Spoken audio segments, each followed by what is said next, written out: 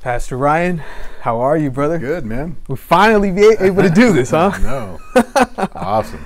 How's everything? Good? Yeah, everything is awesome, man. That's awesome, man. God That's- is good. God is good. You're such a blessing, man. I've known you for about nine or ten years, bro. Yeah. And time flies, doesn't it? It does, man. it's crazy. Um, uh, those of you who don't know who Pastor Ryan Conley is, Pastor Ryan Conley is the assistant pastor now of Calvary Chapel Palm Desert. I know he started with the youth, Yeah. and um, you know the Lord found it fit for him to be an assistant pastor now um, to uh, Pastor Joe Coleman. You know he does it for Jesus, but he he he serves alongside Pastor Joe Coleman, and Pastor Joe's great too. By the way, Amen. How- how- Amen. Yeah. the Lord the Lord uses him in a mighty way, and Amen. it's the Lord who makes you know raises people and puts down people, and the fact that you know we're gonna get into your life. Um, I'm excited to see what the Lord has Yeah. and what He's done to lift you up to a position of being an assistant pastor. So, um, so th- the way I usually start these interviews is, and this is more for for my sake, for me to remember because I have a bad memory, man. For some reason, like when it comes down to like how I met people or people's names, I'm so bad with that. Um, so, how did we first meet? Well, it was uh it was you know, looking back, it was like nine or nine or ten years ago. Mm-hmm. Um, I was fellowshipping here at Calvary Chapel Palm Desert, working with kids, and uh, you showed up to uh, Saturday men's prayer with a couple brothers, and you kept coming Saturday mornings. Next thing I know, you started coming to fellowship here, Yeah. and uh, it was really cool because I remember uh, after you were here, I, I remember thinking. I've been praying, Lord, we need somebody to help with the youth. Give us, bring us somebody to help with the youth. Yeah. And so Jose comes in, and um, uh, Pastor Andrew was was there at the time, um, and then uh, we started fellowshipping. Then God led you working with the youth. Yeah. Uh, Yeah. we, I remember we went to a conference, went to a youth conference. oh yeah, I remember that. At Calvary Chapel Bible College. Yes, And, I uh, remember that. and you were like, "The Lord has called me to come here. I don't know how. I don't know how. I don't know when." And it was cool because you ended up going. And I did. I uh, did. But yeah, that's crazy. But yeah, it was like nine or ten years ago. Yeah. Wow. So it was at the prayer uh, meetings, huh? And you never know. That's that's a good encouragement. You never know who you're gonna meet at the prayer meetings. That's right. And the Lord might open up a door to meet someone, and Yeah. here here's your ministry. You know. Yeah, yeah. The youth was the youth um, ministry was fun. Sometimes I would just get one one guy, one guy, and me and him would come up here, and he would just you know open up and share stuff that he was going through, and you know I would minister to him, and I remember we would alternate, and it was Yeah. it was cool. It was very very cool, man. So that's awesome, A lot, man. of, a lot of the teens they still remember you too. Oh, do They they? hear that what, what's up with Jose, and they remember the teachings. They remember, you know, God's God's word. It, it never comes back void. Oh, praise God, praise So, God that yeah. you know if it's if it's the word that they remember, that's the best thing. That's the best thing. Yeah. yeah. that's the one thing we want to see them take away. Oh yeah, because Forget everything else. Yeah, yeah, yeah. Forget, forget me. yeah, forget me. Yeah, that's cool, man. I'm Don't so I'm so blessed to have um um the way I see it, I guess, is that the Lord only allows you to meet certain people in your life, you know, in this Yeah. this little span of life that you have. Yeah, And the fact that he would allow me to meet you yeah, and even serve alongside you for whatever amount of time, yeah. that's a blessing to me, man. So you're a blessing. Thank you for everything you've done for the kingdom, man. You're you good. You too, brother. You oh. too. Yeah, you got an amazing story too. Oh, You know, yeah. I mean, you're a blessing. Yes. Th- thank you, brother. Thank you. So let's kick this off, man. Yeah. Um, so tell me, tell me about your childhood. Tell me where you grew up. Where were you born? Your relationship, perhaps with your, if you have brothers, sisters, parents. Mm-hmm. Go ahead. Well, I, I was born 1977. So that makes me 34 years old. No, for- 43. For the Uh, record. I was born in 77 in Portland, Oregon. yeah. Um, lived lived most of my early life up until my mid-teens. Uh, I grew up in, in the Northwest, right around Oregon area. I lived in places like uh, Tigard and Aloha, surrounding cities that were surrounding the Portland area. And um, so I, I, I went to school there, and uh, when when high school came, um, my life my life was pretty good as a kid. I had mom and dad were there. Um, I have two brothers and a sister. Mm-hmm. So growing up in that environment in the Northwest, it was it was pretty good. Um, you know, Jesus wasn't in our household. Mm. Um, that's for sure. Uh, I mean, we were uh, we were horrible practicing Catholics. You know, it was like Christmas and Easter. Yeah, Yeah. C and E Catholics. Yeah, yeah. Um, and so, you know, Jesus wasn't in our home, and but yet I, I remember always having food on the table. I always had shelter, clothes on my back. Mm. I had both my mom and dad um, were there, so it, things weren't too bad starting off. yeah. Um, How was your relationship with your parents? so my, my relationship with my parents was okay. It, was, it wasn't bad. Um, like, like I mentioned, you know, we can all find things in our life in our childhood. You know that, you know, mom and dad. You know, everybody's everybody's fallible. Everybody makes mistakes. Absolutely, absolutely. But all in all, uh, I had two parents that loved me, and um, and and th- and I recognized that at an early age. Um, by the time I was 13, about was 12, 13, my parents uh, they split. They uh, my father had issues with alcohol, and my mom was tired of it, and there was just so much uh, animosity and anger in the home that they they split for a, a, a few years. And I think that that's when I started declining too. Is when they when they split apart. Well, yeah. Um, you know, my mom she moved to Reno, and my father stayed in Oregon, and he just began drinking more and more and more. Mm. And so, um, my older, my two older brothers and older sister, they were already out of the house.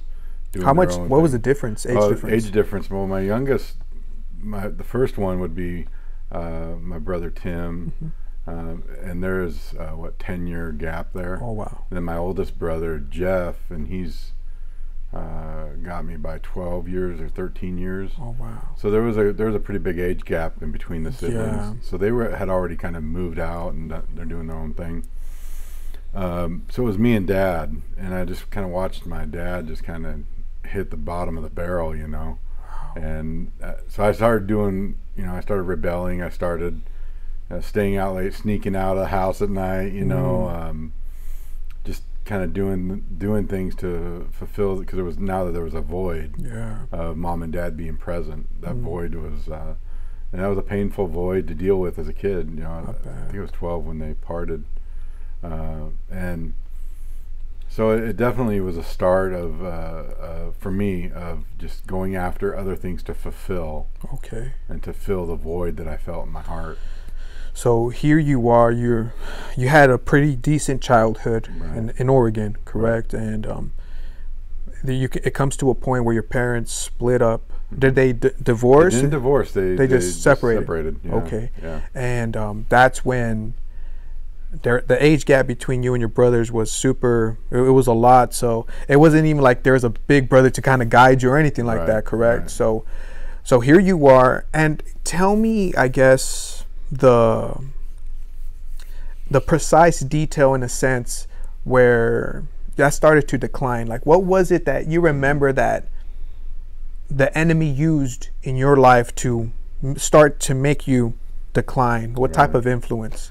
Well, you know, as I mentioned, I st- when when that void was there of family, all of a sudden it was just me and my dad, and he was toasted almost every night. So Yeah. uh, there was this void. I started filling it with bad relationships and bad friendships, Okay. um, and you know, it started off small, and it's just the sin that I let consume me grew. Well.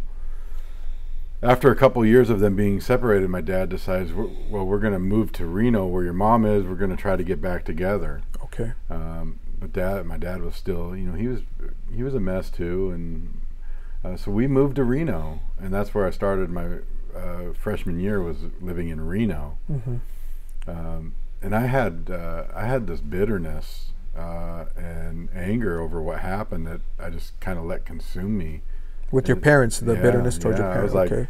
You, you you would think as a child you'd be like, great, mom and dad are getting back together, everything's going to be good. But uh, there was this sense of um, there was a sense of kind of an abandonment feeling that I Oh, wow. and I was angry about it, Yeah.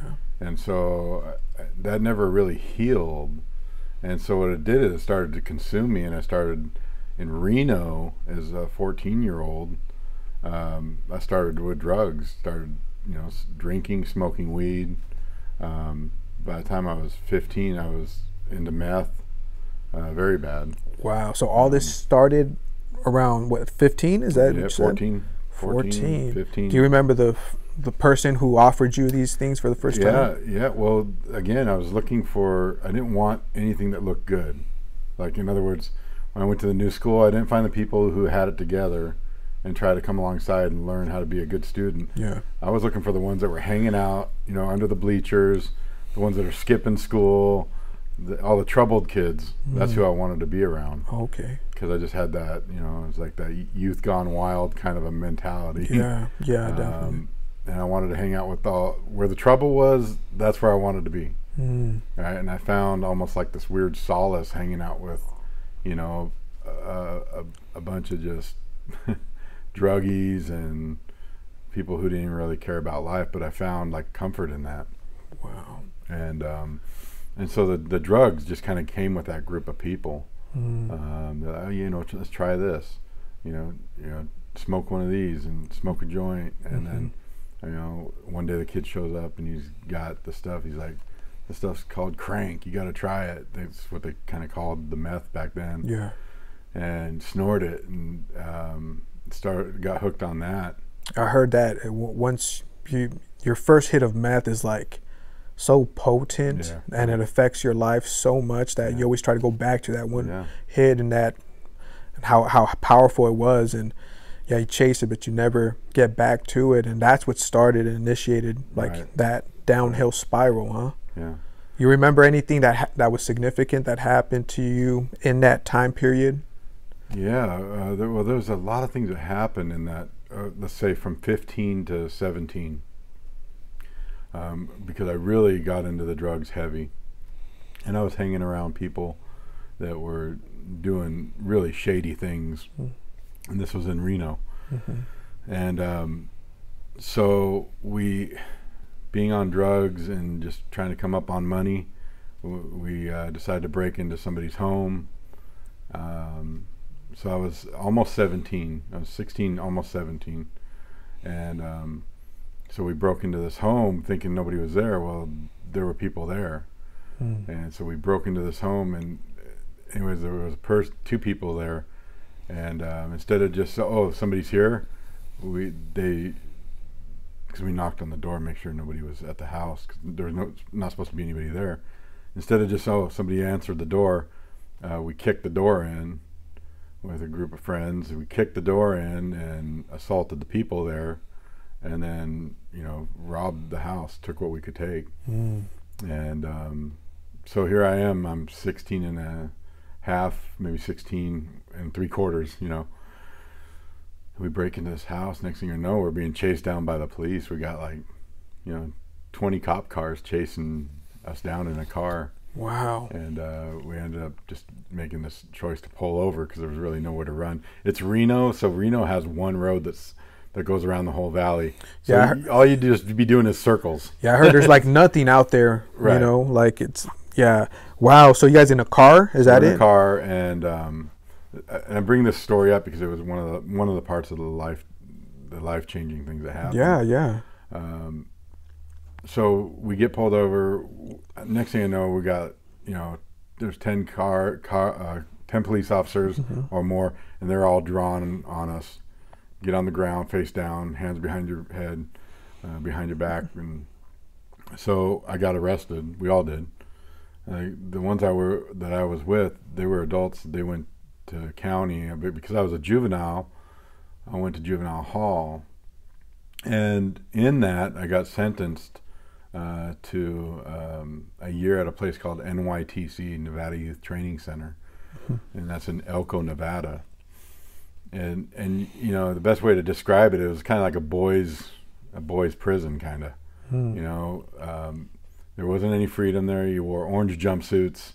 You had lockdown. It was a lockdown facility. Hmm. Uh, chow time was together. Everything was marching in line. It was that kind of a structure, and I, so I was there for a year. How many juveniles were there? Uh, they they have anywhere from three to five hundred. Wow, that's Yeah, big. yeah. That's big. They, they what they had they called them dorms, and in each dorm was about fifty children okay, or fifty youth, and so they had I think ten dorms, okay. and so not all of them were filled, but so they could have had up to five hundred. That's that's that's still a lot. That's a lot. It is a lot, but you know, uh, when that happened to me, um, it got me to start thinking not about. I, I still wasn't thinking about the Lord, hmm but it started getting me to think about maybe I need to make some life changes here. Yeah. You know, because one of the guys that we were with, he actually got five years, uh, and here I am, kind of getting a slap on the wrist, really, because I'm a juvenile, hmm and uh, and so I, I while I'm there, I got my GED. You know, because I, I stopped when going back a little bit when I when the drugs started, school stopped. Um, I think my sophomore year, I think I showed up to school like 14 days out of the whole year. Mm. I mean, I had truancy officers at me all the time, and you know, always running. It was just a mess. Okay. So I didn't get my high school diploma. So when I was at that facility, I was able to get my GED there. Wow. And I started thinking about, you know what, I need to make some changes. And so I was released from there just before my 18th birthday. Okay. And then, um, so now I have this kind of mindset that things need to change in my life. At this point, the relationship with my parents, um, it, it was it was dead at this point. Did you live with them at this point? I When I- mean, or are I- you, or did I- you get out of juvenile hall? I'm I sorry. did. I did. When I got out of the facility, Okay. I stayed with them for like a few months, Okay. and then my oldest brother, who was back in uh, Oregon, he's actually in Washington, but he was right across the border. He was in Vancouver, Washington. I went there to stay with him, and uh, got a job, and was trying to trying to change my life, you know. And uh, but I, I had this relationship with my parents was kind of dead at the time, because all that bitterness from before never healed. Mm. And so uh, I get out of there, out of the facility, and I'm staying with my parents. And then next thing I know, I'm going to Washington. I'm trying to establish my life. I got a job working at a steakhouse there, and How old are you at this point? uh, at this point, I, I was 19, 19. okay. almost 19 when I moved there. And I stayed there with my brother for a few years. I was in Vancouver, and I I was excelling in the restaurant business. Nice. And in fact, I was working at this uh, steakhouse in Washington, and I ended up being the kitchen manager there, Wow. the restaurant manager. They Wow. sent me to school, the community college there, Wow. and um, so I was doing really good. You know, um, I wasn't really messing with the drugs. I was I was drinking a lot, Mm. um, you know, but I wasn't uh, messing with the drugs. And while I'm working there, as soon as I turned 21, um, these two guys come into the restaurant that I'm working at the steakhouse. They say, "Hey, we want to talk to you about a, a, jo- a, a job opportunity." So these two guys wanted to open up a bar and grill in downtown Portland, Mhm. And I'm thinking, okay. And they offered me a good salary. Mm. They said, "We want you to build up from scratch a bar and grill." Um, and so I went to Portland. I went to work for these guys in downtown Portland. Now, downtown Portland is really shady in a lot of areas. What is it really? It is. I mean, you got you got uh, where we were at. There were strip clubs. Uh, these cheap dollar bars were everywhere. Um, there was a lot of junkies around the area. A lot of homeless. Um, so it wasn't the best environment. So I went working there, and when I went to work for them, I was working so many hours that I was like, "Oh, I, I, I think I need something to help me get through the these long hours." Because I was literally opening up at the restaurant. I'd open up at eight in the morning, get everything ready for lunch Mm-hmm. because we opened at like eleven o'clock or ten thirty, and then I would work until three, two or three in the morning. So I'd get like two hours of sleep in between three hours of sleep.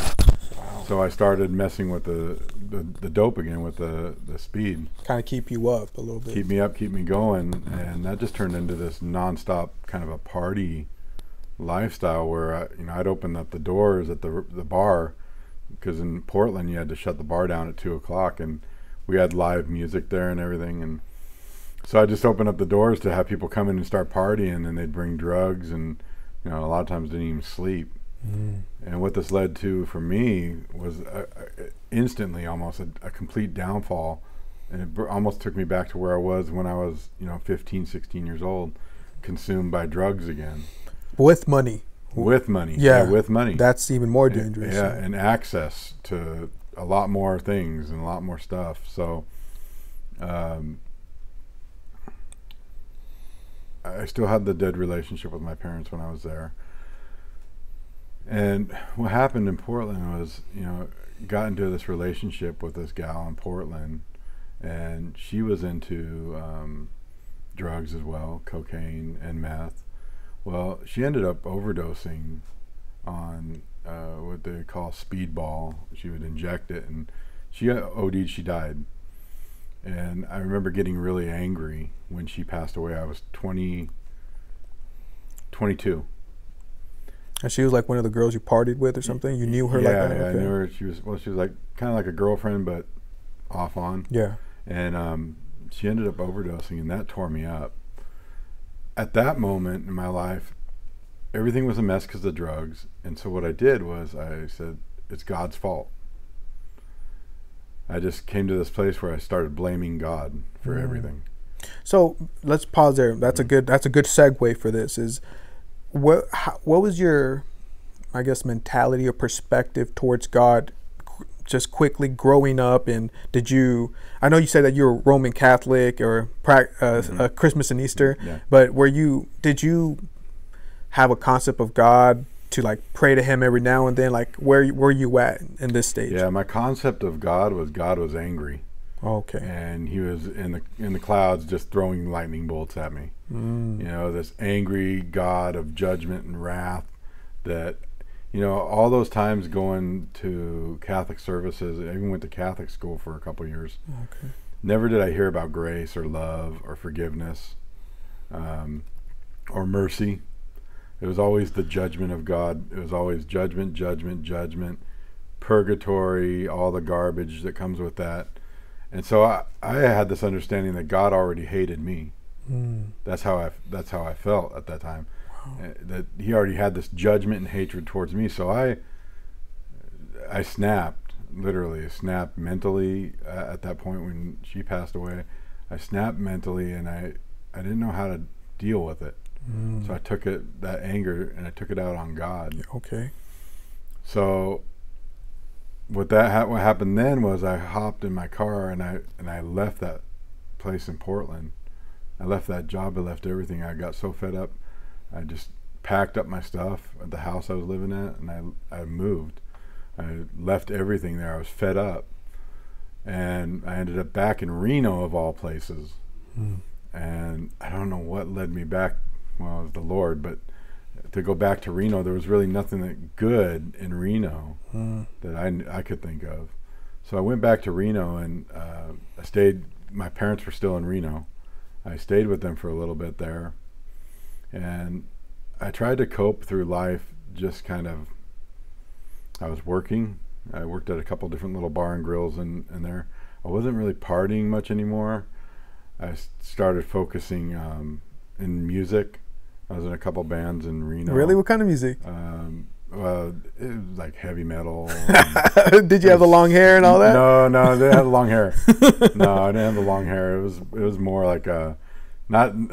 Were you you were in a band? Is that it? Yeah, Okay. yeah. And so we, we started focusing on music. I was still messing around a little bit with the drugs, but not like where it Not was. heavy. And I was working at different jobs, and um, so I did that for a couple years in Reno, uh, trying to establish some kind of sanity. Um, I, a couple friends that I knew from the high school era, um, they were, you know, here we are, uh, you know, six years later, seven years later.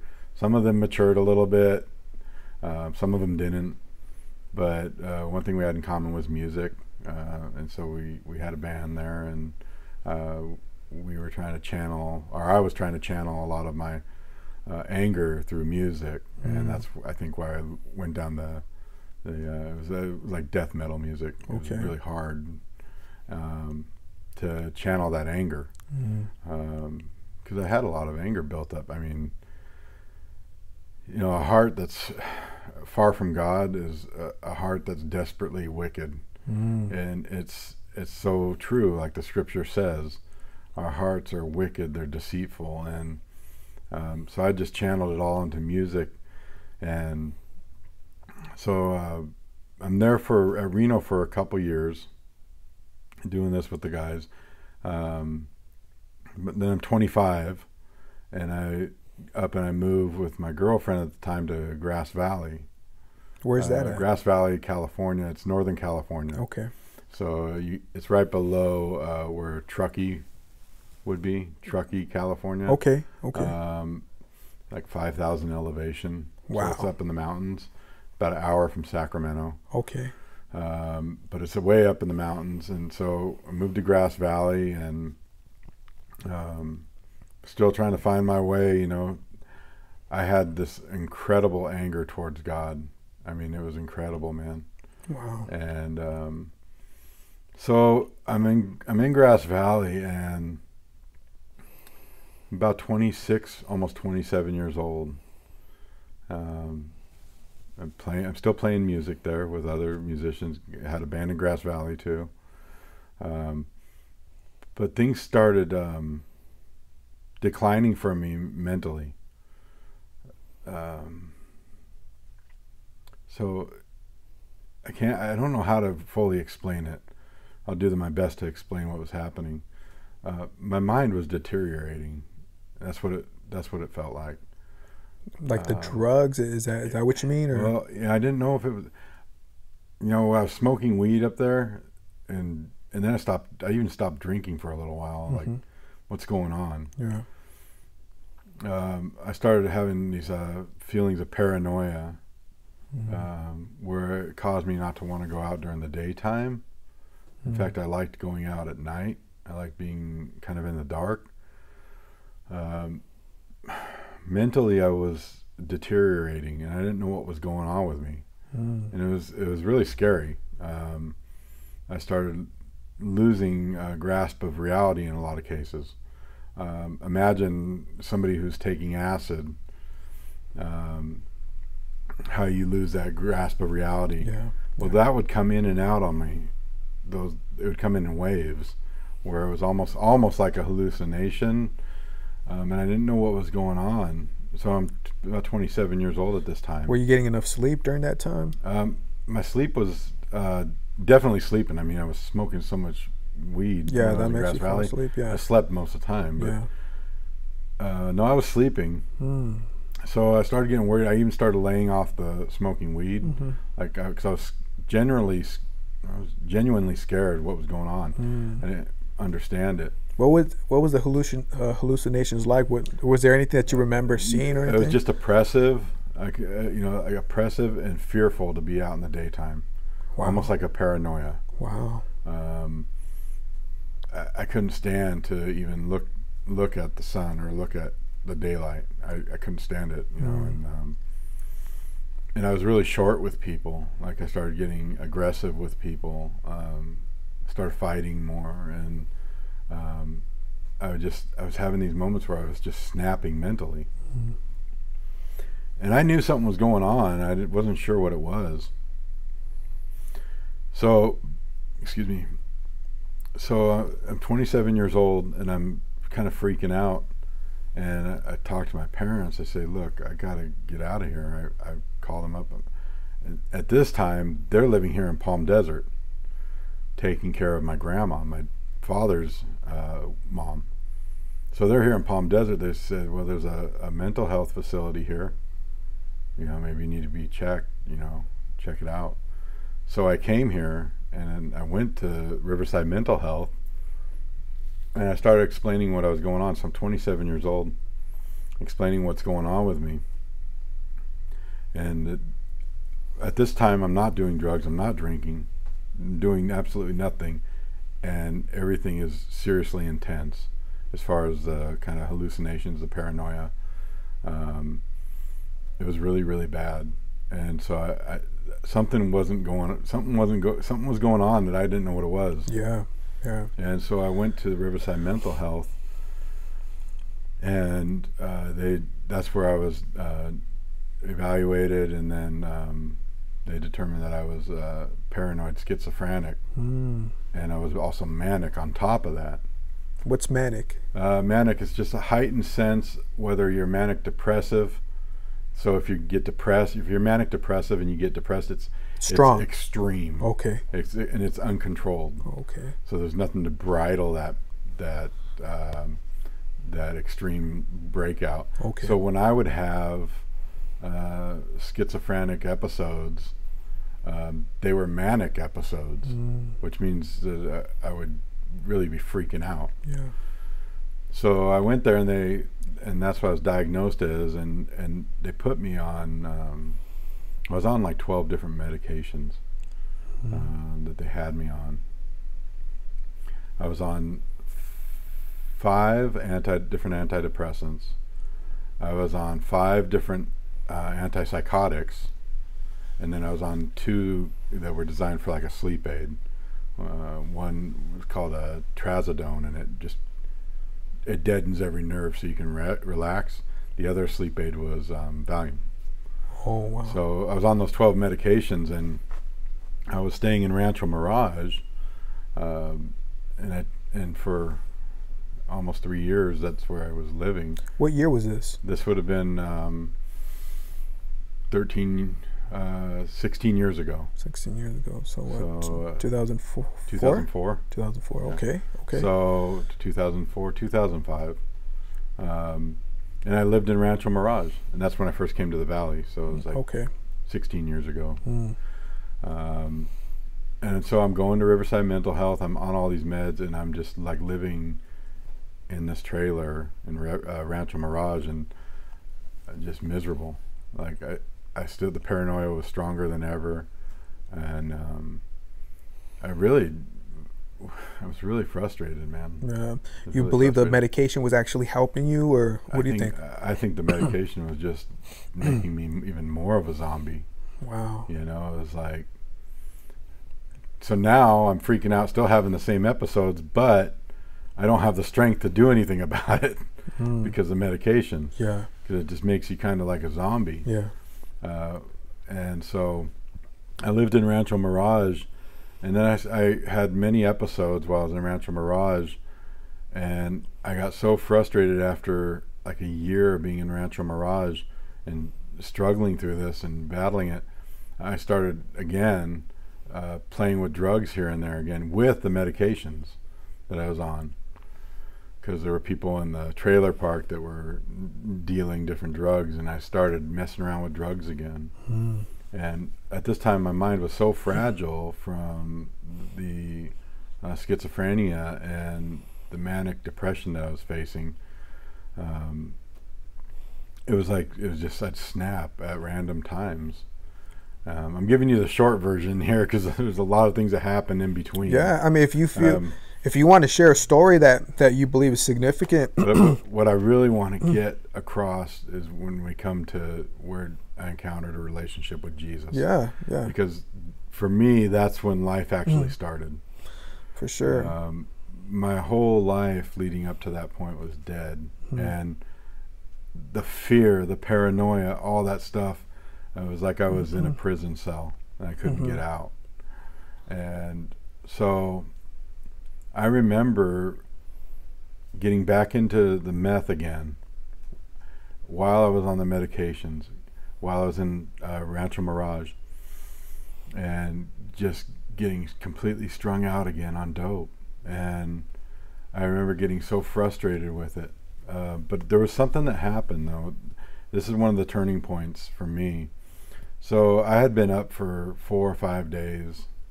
I was already mentally gone. Mm. I mean, it was like a time bomb. And there was a show on TV at like two in the morning. It was a black and white movie.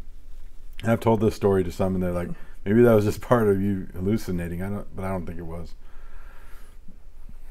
It was like two or three in the morning, and there's this black and white show uh, on this movie. It's like Nazi Germany, and the Nazis are coming after this uh, Jewish family, and they have a farm, and this family kind of runs into this barn to hide from the Nazis. And the Nazis see the family coming in, and and they they torch the the uh, the the barn. Mhm. They light it on fire to Mhm. burn the family out. And you know how the some of the older barns they have those big doors that open up Yeah. where they would bring hay through Mm-hmm. up top. Well, those doors open and there's like this angelic kind of a person waiting for them, like you're about to die, you're coming to heaven, kind of a scenario that was Yeah. happening. And I remember sitting there just kind of breaking down because at that moment I started thinking about God again. Mm. I started to just, and I just sat there kind of weeping, and I couldn't stop it, and I, and, I, and it got me thinking about the Lord and thinking about. Uh, I saw those arms. I saw those arms out, like, come in, welcome. Yes, you're gonna die, but you're with me now. Yeah, yeah. So it got me to thinking at that point, and I was I, I was a complete mess. Okay, and um, things weren't working out here, so I went back to Grass Valley again. Thought I'd find some solace there, right? Uh, I was tired of these medications. I, I actually stopped taking like five of them, so I was only taking like six of the or seven of the medications. And I went to Grass Valley. I stopped taking uh, half my medications, and I started uh, medicating with weed and the other meds. Mm-hmm. Um, no more dope again. No more. When I say dope, when I say dope, I mean uh, Meth. Yeah. So I know it's all dope, but uh, specifically, that's what I'm talking about. And so I went back to Grass Valley, and uh, th- this was the changing point for me. Did you before you turn because that's that's a pinnacle moment. This, that's like the mo- most important moment right there. But did I remember you telling me a while back that you had some type of encounter with um, Satanism? Yeah. Or so do you oh, want well, to? through the whole the whole metal industry. Oh yeah, metal- yeah. So I don't know if you want to kind of share that because yeah, uh, with de- when, when you're in the when you're in the the band scene, it depends what kind of scene you're in. Mhm.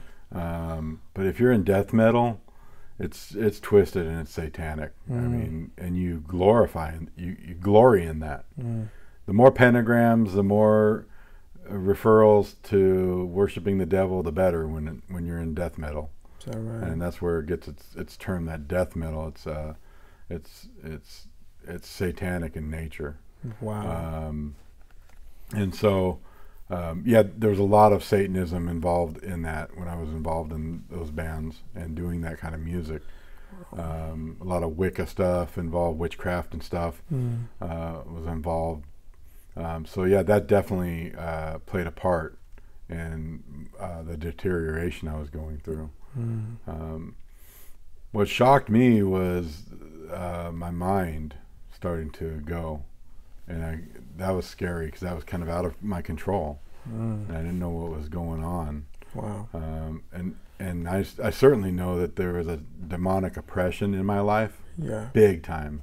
Like, You uh, you you realize that Oh, even as an unbeliever. that like I was telling you about watching that movie, right?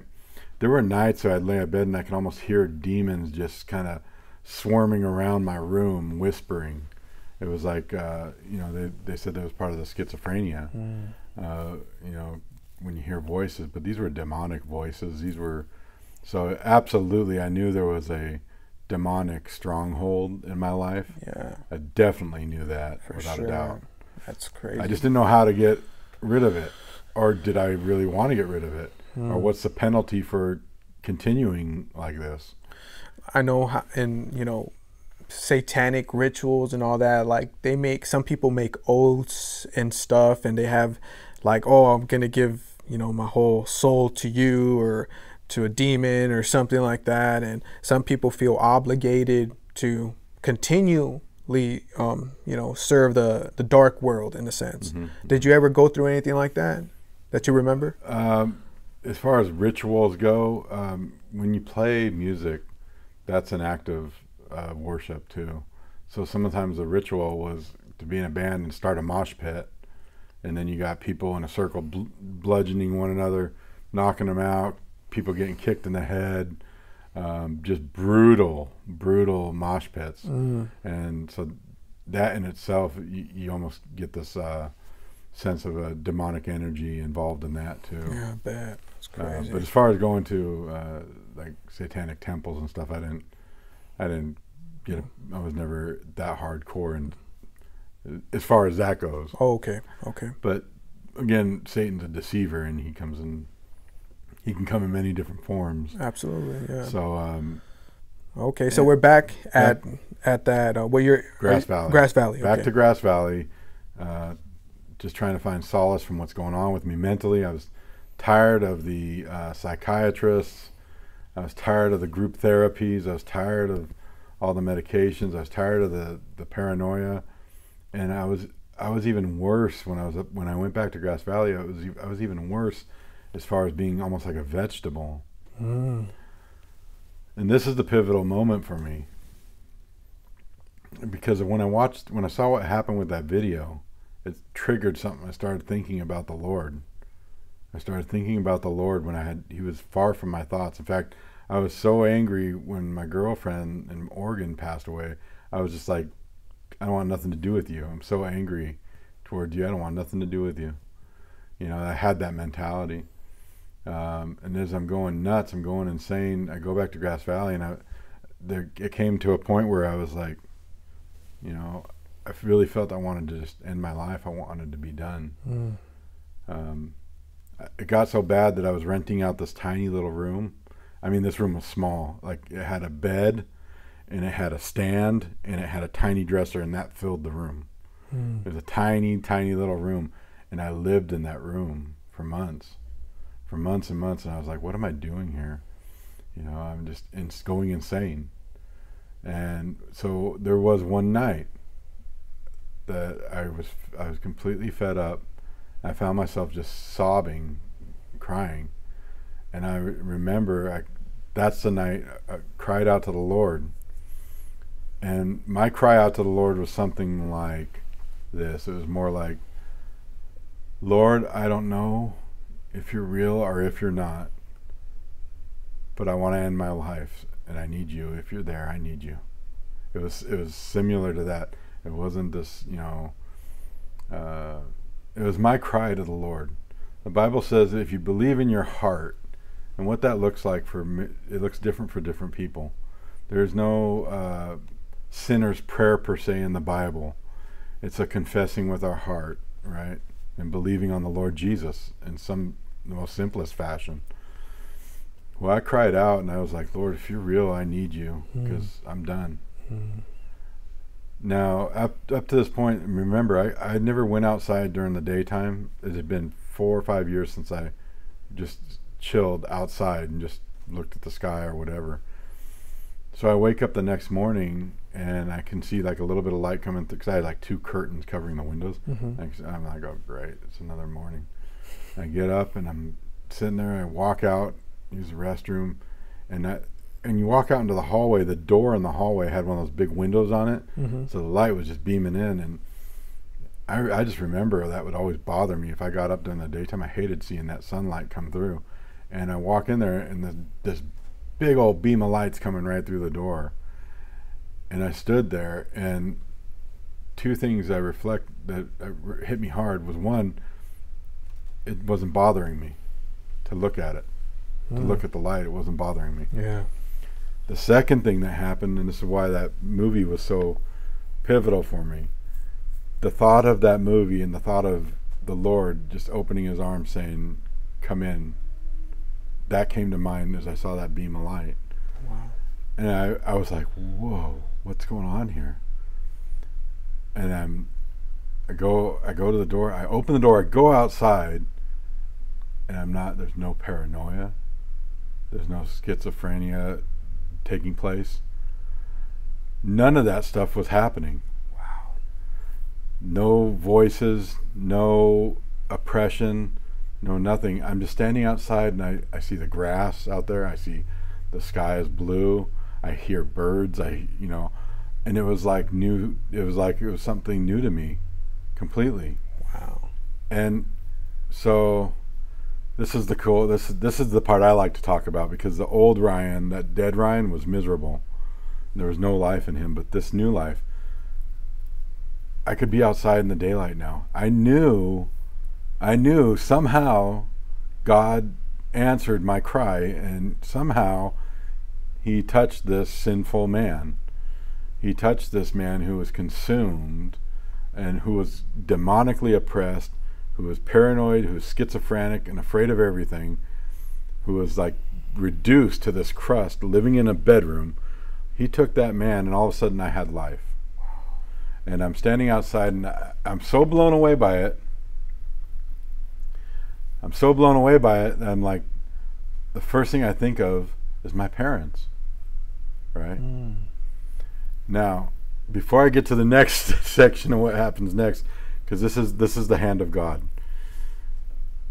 While all this is happening to me in Grass Valley, and while I was in Rancho Mirage, one of the things I forgot to mention is my parents recommitted their life. My dad recommitted, my mom got saved, and they were going to church during that time here in the valley. So they were both because my dad got saved when he was a teenager, uh, or in his young tw- uh, early twenties. He got saved, but he walked away from the Lord when he came to Oregon and met my mom. Um, they were both on fire, born again, going to going to church, and and to fill in the blanks, I got to go back a little bit because I would always blast them about the church stuff, right? Like it's a, that's a cult, I'd say, and Yeah. you know. Okay, so my parents had this prayer circle. They had a Bible study at their home, home fellowship, and they had this prayer circle of about seven or eight people. And these this prayer circle, they were praying for me. Right? They were praying specifically all the time just for me. Mm-hmm. And this is very crucial because this prayer circle that had been praying for me, um, I'm gonna, which which I'll introduce in a moment. Uh, when my parents were walking with the Lord, and I was going through my mess here, I'd come over, and if there was a Bible study or something going on over there, I was like, I was gone. Mm. I wanted nothing to do with it. There was a time I had to stay with my parents for a little bit before I went back to Grass Valley, Yeah. and when they had their their home Bible study, I was gone. Mm. I'd, I'm not going to be anywhere near that stuff. Yeah. So they had this prayer group, this prayer circle praying for me. So the next day, when I wake up in Grass Valley and I realize that God touched me, all of a sudden I started, things started coming to mind. The name of Jesus kept popping into my mind. It kept popping into my mind Jesus, Jesus. And I had this kind of revelation that that Jesus touched me. You know, it was like yeah. he did. And it, it was so amazing to me that I packed, again, I packed up a duffel bag, Yeah. right? Left everything else that was there. I left it all. I got in my car and I drive from Grass Valley to Palm Desert. Yeah. And I call my parents. I called them. Uh, where was it at the? Uh, out by the windmills. There's a re- RV rest right out there. Yeah. Yeah. I stopped there and I, I called them from there to say, hey, I know this is weird and sudden, but I'm I need to come by. I'm I'm on my way. Can I? I'm gonna stop by and see you guys real quick. They're like, oh, okay. They don't know what to expect. Yeah. Like, what's going on? So I get to their house. Now their Bible study was Friday nights. Mm-hmm. It happened to be Friday night.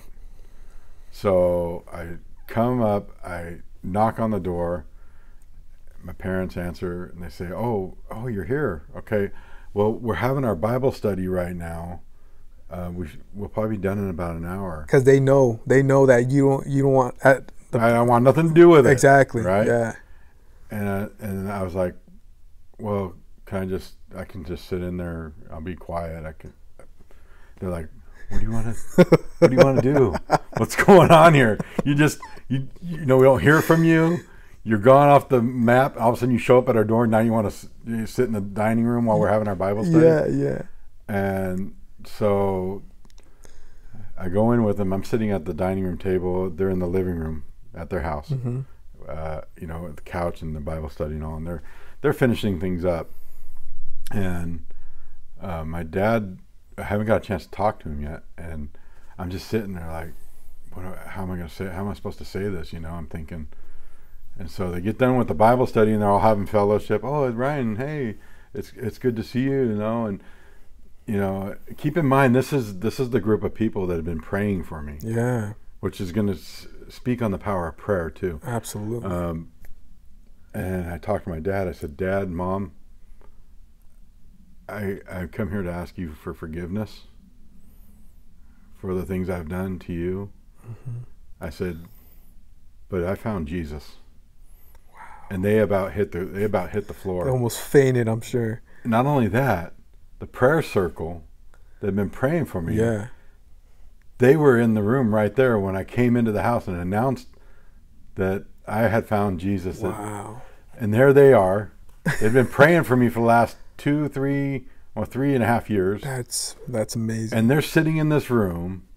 And here I come from Grass Valley out of the blue mm-hmm. to just really ask for forgiveness and acknowledge that, you know, I have Jesus. That is amazing. And and so I, I hadn't read the Bible at all. Okay. I, I didn't know anything about the Bible. I didn't know the story of the prodigal son. I didn't know that story. yeah. But here I am, kind of almost kind of walking out that story, right, as a testimony to uh, God's faithfulness to, to welcome us back. Yes. So I went to church with them. I, I ended up staying with them. It was a completely different scenario. I went to church with them. There was an altar call at the church. I was, I stood right up. Do you remember what church it was? Yeah, it was. Uh, it was Desert Springs, right over here. Oh, okay. And okay. um, so I stood up for the altar call and uh, acknowledged Jesus publicly, and my life has never been the same. wow. My life has never been so. When I was 30 years old, that's when life started for me. I was 30 years old. That's when life started. Uh, I was born again. Um, it, it was December. Uh, uh, December uh, when I was 29, just before my 30th birthday in February, um, and I was born again. Wow! There And- you are, man. And things started changing. I mean, um, I mean, the radical change is, is so much. But first, I want to speak on the, the deliverance from uh, for those who are struggling with mental health mm-hmm. because it's a very real struggle. Mm-hmm. Um, and I want to share this because it's it's very important to know that God did deliver me from those things. He delivered me from the the schizophrenia, uh, the the the voices. But some days are rough. And I want to I wanted to speak on this real briefly Yeah. because for those who are looking for deliverance in that in that section of their life, if they're struggling with mental illness, um, it's okay to have off days.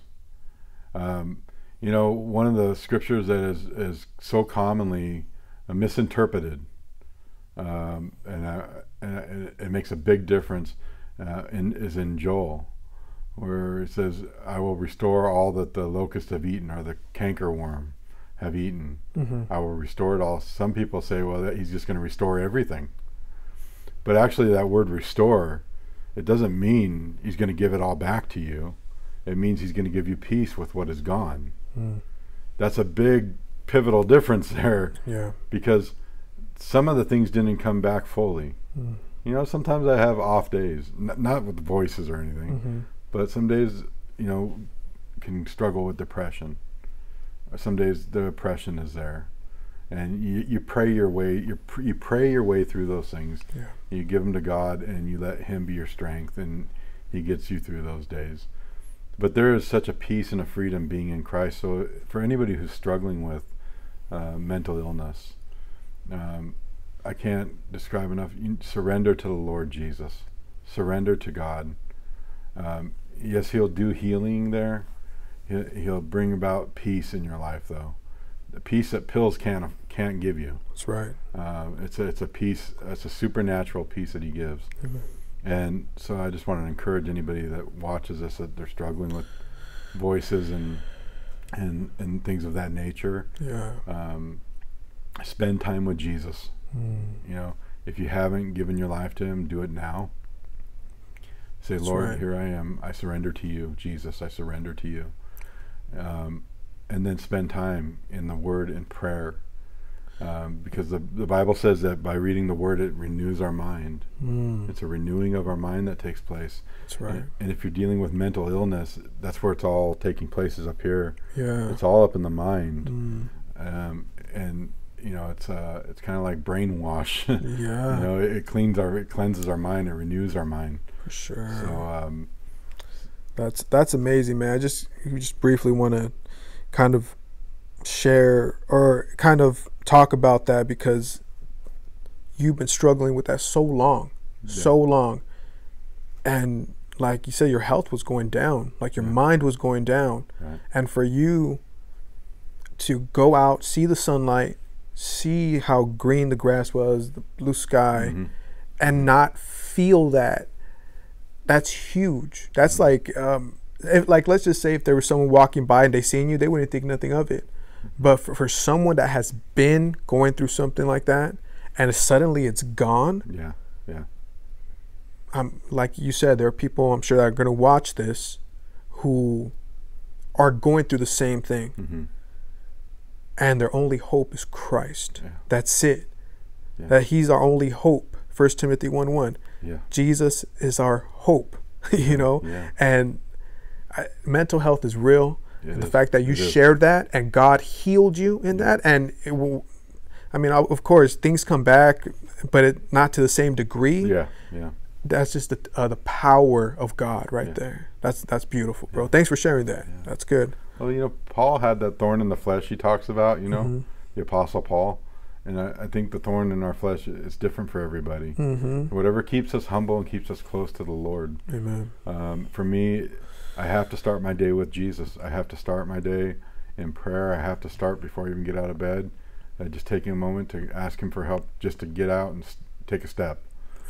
Because the days that I, I neglect that time with Him, and I neglect my need for Him, those are hard days, Mm. and it can come in the form of like oppression and depression. And I just, I'm a pretty, you know me for a while, dude. I'm pretty transparent.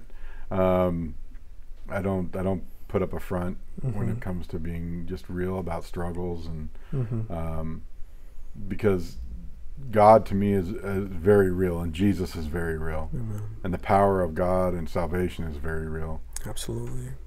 and uh, so it's nothing I would never ever be ashamed of in my weakness that's where he's made strong so Amen.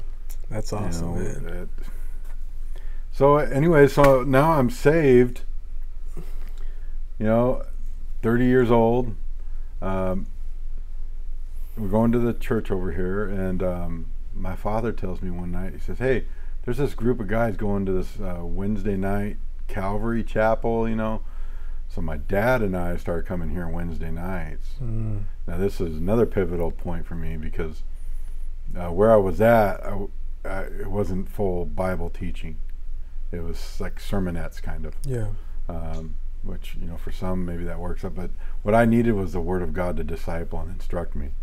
So I came here on a Wednesday night. Pastor Joe was in First Kings, and here I am. He's like, "Okay, let's open our Bibles."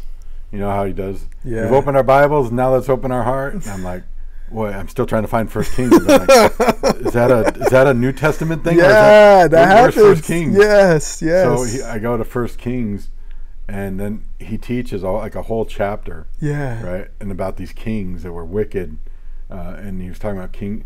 There was all this stuff that pertained to my life, and made such sense. Yeah. That was the first time I ever sat through a Bible teaching sermon, Wow. and we keep Dad and I came Wednesday night, and see, I would have been, it would have been 2007, 2007, 2008. We come here on a Wednesday night, and Dad and I are like, "Have you ever heard any teaching like that?" He's like, "No." I'm like, "Neither have I." It was awesome, dude. We're like, dude, we got reading through the Bible Ex- here. expository teaching, Right. chapter by chapter. Yes. it was mind blowing though. You know, it's Mhm. like I never was influenced by Calvary Chapel or Chuck Smith. I didn't even know who Chuck Smith was. Mm-hmm. I didn't know about the Bible. You know, teaching the Bible verse by verse. Yeah. Expository teaching. I didn't know any of that. Mm-hmm. I mean, I didn't even know an epistle from an apostle. I was like, Yeah. like what? yeah. you know, all this stuff. I, I was I was Bible illiterate. mm-hmm. Right. I knew the author, but I didn't know his writings. Yeah. Yeah. Yeah. Um, and so we came here and we were hooked here. wow. And then I wanted, you know, I, I too wanted to do Bible college. I was like, I want to learn more.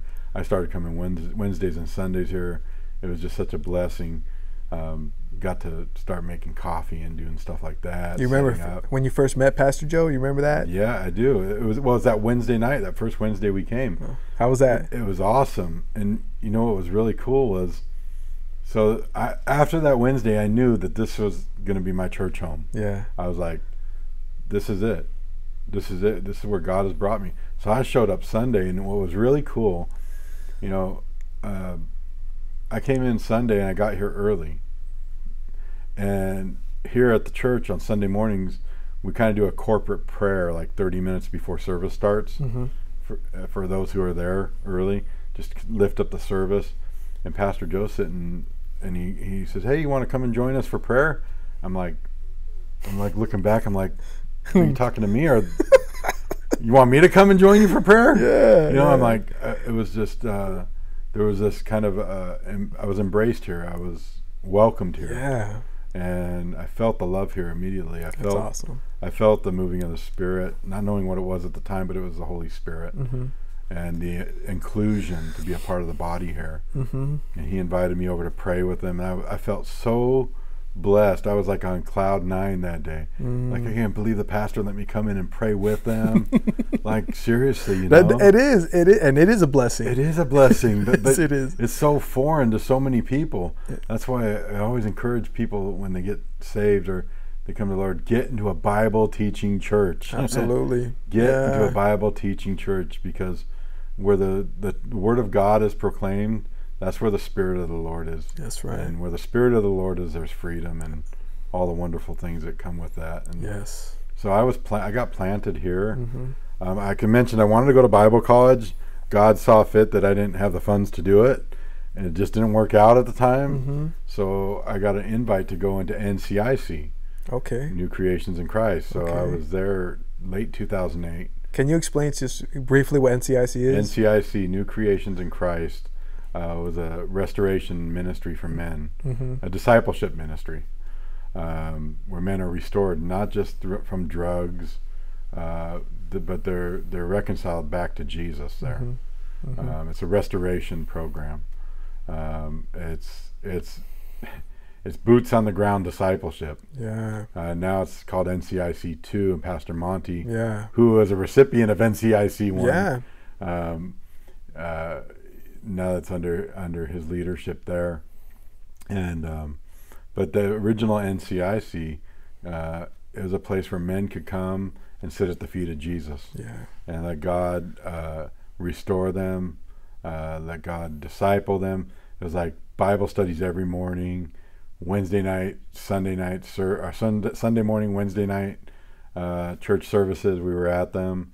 We were serving the community, and so I loved being there. I was there for almost two years, and I loved it.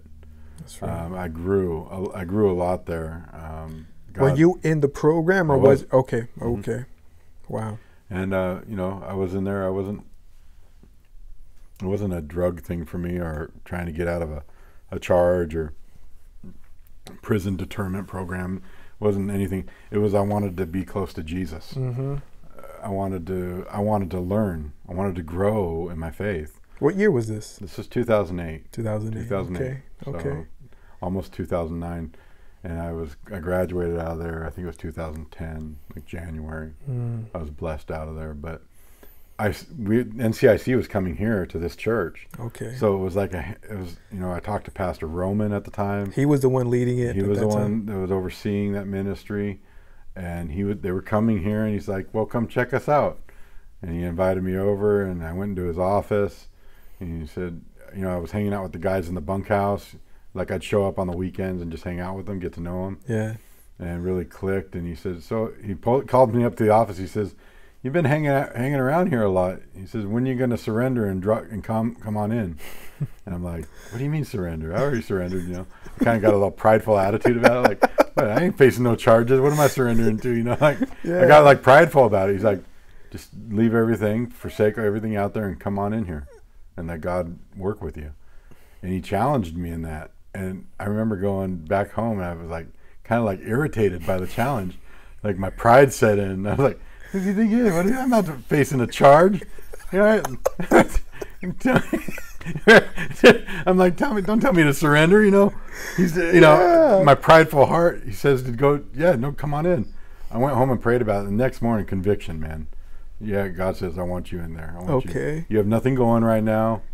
You can go in there. Yeah. And because I had no really responsibilities, I was staying with my parents, so I went in and let God work in me. Mm. And um, and it was the most wonderful time of my life. Learned. I Um, bet you learned a lot in there. Serve lot. Served. serving. Yeah. Um, yeah. Um, God taught me how to really surrender while I was there too. Mm. Uh, you know, he in that discipleship, I learned how to to surrender everything to Him. hmm I learned how to cast all my cares on Him. You know, and what was really cool is so here I am after I got saved. But you know what God did in there too? I had this root still in me, this bitterness root from my childhood that I hadn't let go of yet. And God showed me through some dear brothers that were mentors there at NCIC. Um, and they were very special guys to me, and they know who they are. But they, they shared with me how to let God uh, kind of take things out at the root Mm. in our lives, and how we how we come to Him and let Him do that Mm. and um, so I was able to get rid of that bitterness, and that brought such a joy in my relationship with my parents. Mm. You know, there was a restoration that happened after I got saved, but there was also still that little blockage there, the bitter root of unforgiveness, and I, it was still kind of in there. Mm. And God got rid of that, restored our relationship together. Yeah. So when people see my mom and dad and myself, they they look at us and they think, "Oh, you guys have been you probably grew up Christian." You know, look, you guys have it all. They say you guys got it all together. You look like you've been walking with the Lord for forever. Mm-hmm.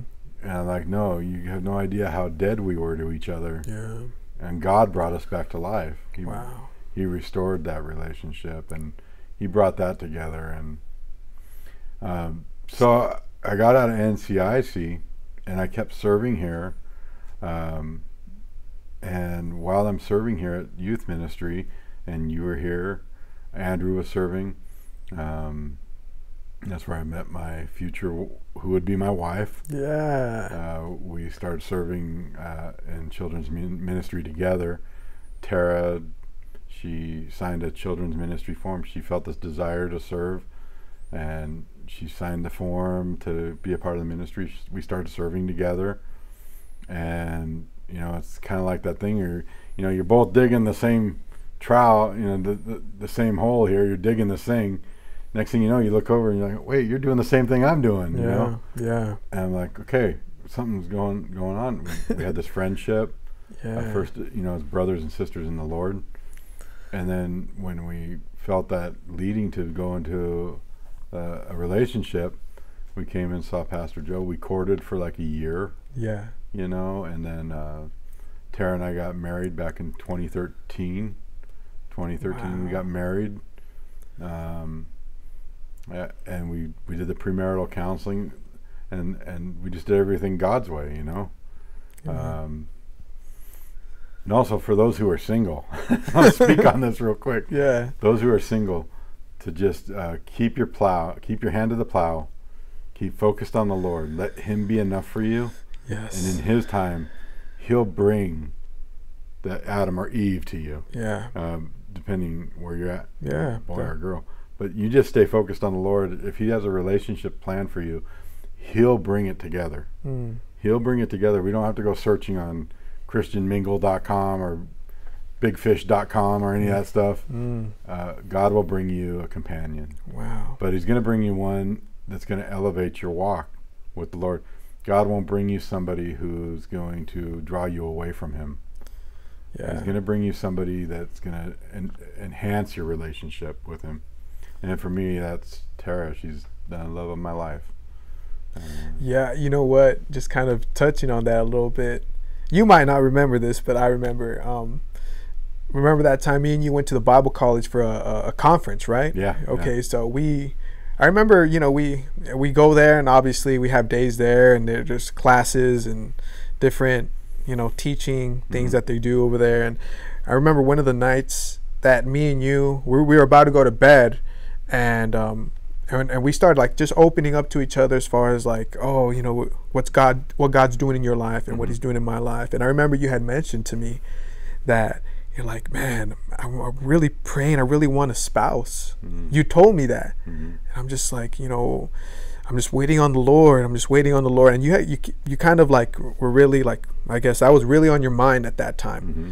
and i think i don't know how much longer it was a few months after that she yeah. came yeah you know yeah. and I, I remember when i seen you slowly starting to court her and talking to her mm-hmm. and all that was like wow we were just having that conversation right, in marietta right. and the lord brought brought her yeah and the fact that you were you know you guys did it god's way is so amazing yeah. man and that's the best way and you guys uh so you guys have kids now yeah, so we got we got married in 2013 and uh, tara already had three children and um, we got married. So now we had three children, and then we had two more kids. So now we have five kids, and uh, all five are they're they're my joy. Yeah. They're my family, my wife and kids, they're the world to me.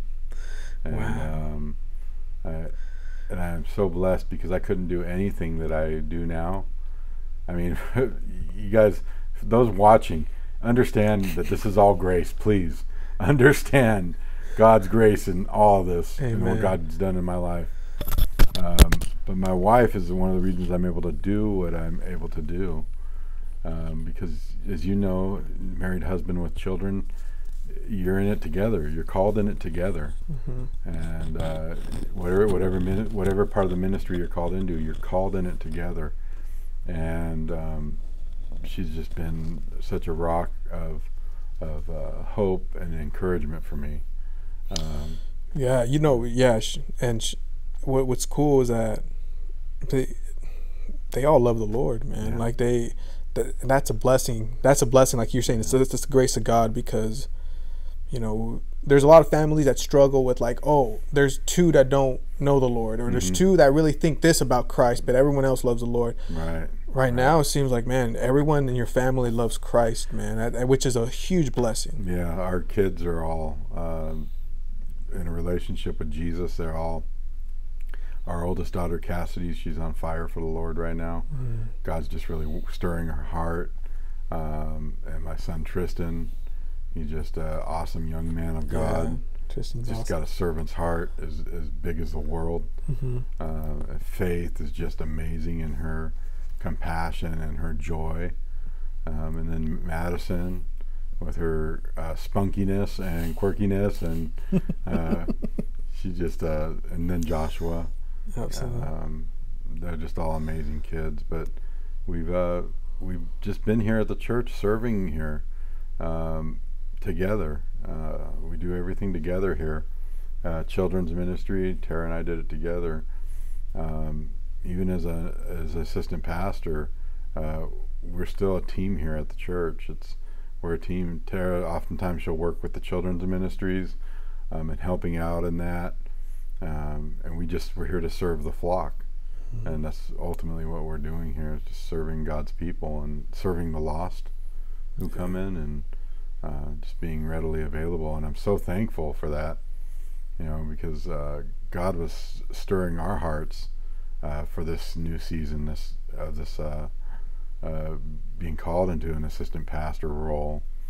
How was that? Do you remember when Pastor Joe, you know, uh, yeah, you, you know, God, God has a way of preparing your hearts for things. Absolutely, know? yeah. And we went to this pastors and assistant pastors conference uh, in Golden Springs a few years ago, and you know, we went there, and um, I was the youth pastor at the time, but I was doing a lot of assistant pastor duties and uh, the, the assistant pastor for Raul, Dale, uh, Pastor Dale, he was sharing about what the the role of an assistant pastor. And Tara and I are sitting there together, and Tara goes, oh, "That's kind of what you do right now." I, was, I, was, like, I, I, think God's preparing our heart for something."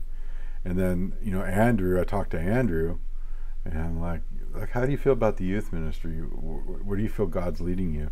And he wrote out his statement of faith, kind of on what he feels God kind of a vision statement. Yeah. And he says, I he said, I can't believe I'm saying this, but I believe God wants me to be a pastor. And so we started equipping him and training him up, and then he came into the the uh, uh, the youth pastor Yeah. role as I right after I transitioned to assistant pastor, and Yeah. you know, and, and Andrew's been coming here for the last nine, ten years. Yeah. Yeah. He um, faithful and serving in the children's ministry, and he loves the kids. And He does. it's just you know, God's growing us and moving us and shifting us, and you know, And it don't stop. it doesn't stop. it doesn't no. stop. And it, it hasn't even ended. This is just a little portion of what the Lord's allowed you to live. Amen. And- Amen. And here you are, man. I, I, yeah, uh, God, God has been so gracious in dealing with me. Uh, you know, because the Bible says that while we, you know, that while we were yet sinners, Christ Jesus died for us. Mm. So that tells me that in our worst state, my worst state that I've shared with you, the worst anger I had towards God, even in spite of all that, at that most hateful moment I had, Mhm. Jesus died for me. And it squashes anything right there. I mean, a- no matter where I was at, he still died for me. Mm. And uh, you know, and that's that's the promise that everybody who desires to know God has is that no matter where you're at in life right now, whether you're you are saved or maybe you're watching this and you're not saved, that that Jesus died for you. You can't take it away. You can't take it back. You can't, you know, renege on that. You can't say, "No, I'm good. I don't want it." Mm. No, he already did it. He already did the work. And the cool thing about that is he's just waiting for you to acknowledge it. He's just waiting for you to say, "Okay, Yeah. Lord, here Yeah. I am." I mean, and that's ultimately what we want to see is people come to the saving knowledge of Jesus, get saved. Yes. Because time is short, man. Time we is see what's happening around us, and we know time is short. Time So, is short, man. yeah. That's in. You know, I was gonna ask you, like, you know, what, what's your message to the world? But that, that right there, just that that ending, like, you know, Jesus came and he died, and Yeah. he wants you to accept Yeah. that offer before it's too late. Amen. That's awesome, man. yeah. Well, anyone you want to shout out really quick? Uh, just uh, just let everybody know, hey, I love you guys. Uh, those of you who know me, you know that already. uh, for my family, watching out of Oregon and others, uh, give your life to Jesus. Uh, surrender to Jesus Christ, and you won't be you won't be disappointed. Uh, he loves you. Uh, he died on the cross for you, and uh, he wants to save you. So, Amen. Thank you, Pastor. Yeah. Appreciate everything. Yeah. God bless you. God bless you. Love you, man.